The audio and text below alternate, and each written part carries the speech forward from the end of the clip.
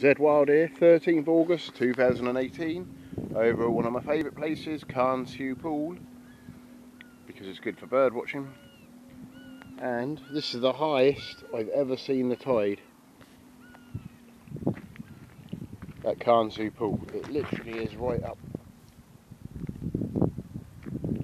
to the grass. Um, very high tide, a spring tide. It's almost going onto the, well it has gone onto the actual path.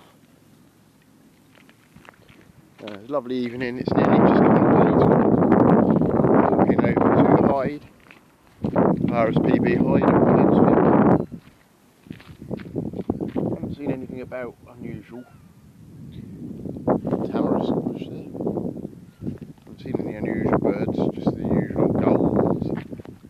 tides right in, so the waders will probably be at Ryan's Field, RSTV.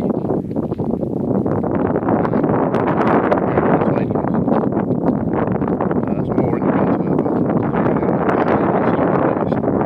but trade and see what's there. See how high it is, water.